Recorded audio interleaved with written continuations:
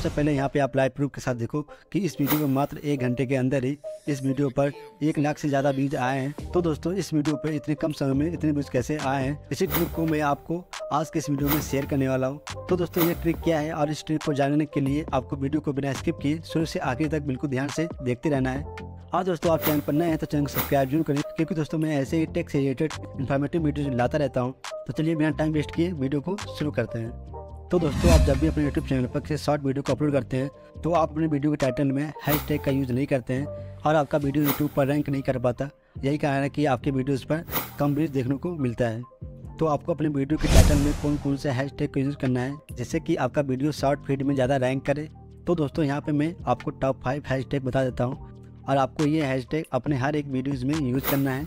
तो सबसे पहला हैश है शॉर्ट्स और दूसरा शॉर्ट्स और तीसरा यूट्यूब शॉर्ट्स और चौथा शॉर्ट फ़ीड और पाँचवा है वायरल शॉर्ट्स दोस्तों, आपको इन पाँचों हैश टैग में से दो से तीन हैश टैग आपको अपने हर एक वीडियोज़ में यूज़ करना है। दोस्तों, आप जब भी अपने वीडियो टाइटल में हैशटैग का यूज़ करते हैं तो दोस्तों, आपका वीडियो यूट्यूब पर ज़्यादा रैंक करता है और आपका वीडियो एंगेजिंग होगा। तो दोस्तों, मैं हंड्रेड परसेंट गारंटी देता हूँ कि आपका हर एक शॉर्ट वीडियो वायरल होगा। तो आई होप दोस्तों, आपको इन्फॉर्मेशन बहुत अच्छा लगा होगा। और दोस्तों, इससे रिलेटेड कोई भी डाउट हो तो आप कमेंट सेक्शन में बता सकते हैं। और दोस्तों, अगर आप एक नए यूट्यूबर हैं और अपने शॉर्ट वीडियो को सही से अपलोड नहीं कर पा रहे हैं और आप जानना चाहते हैं कि शॉर्ट वीडियो अपलोड करने का सही तरीका क्या है तो आप इस वीडियो को चेकआउट कर सकते हैं।